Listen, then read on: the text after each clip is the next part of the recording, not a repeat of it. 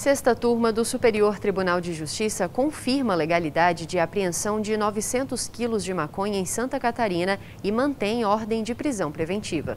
O colegiado confirmou o acórdão do Tribunal de Justiça de Santa Catarina, que considerou lícita a apreensão de mais de 900 quilos de maconha em um sítio do município de Balneário Pissaras e restabeleceu a ordem de prisão preventiva de um homem acusado de integrar organização criminosa acusada de lavar dinheiro oriundo do tráfico.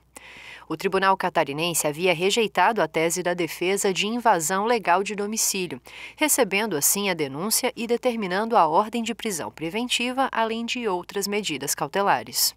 Ao recorrer ao STJ por meio de habeas corpus, a defesa reiterou que a entrada dos policiais no local ocorreu sem mandado judicial ou fundada suspeita e que o encontro da droga não legitimaria a violação do domicílio. Também pediu a manutenção do acusado em liberdade, alegando que não há fato novo que fundamente o restabelecimento da prisão. Mas, para a sexta turma, a atuação policial se baseou em fundadas ações de que no local haveria droga armazenada. O relator do caso, ministro Sebastião Rei Júnior, destacou que, segundo os autos, no dia anterior houve uma grande apreensão de maconha dentro de uma caminhonete e uma denúncia anônima afirmou que o veículo teria sido visto no sítio do Correio e que haveria mais droga armazenada no local. Em seguida, a polícia averigou a propriedade e encontrou mais maconha escondida debaixo de uma lona.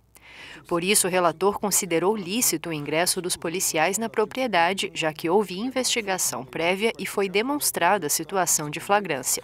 Sobre o restabelecimento da ordem de prisão, Sebastião Rei Júnior observou que os fatos são graves e que o réu já foi preso diversas vezes por tráfico de drogas e outros crimes.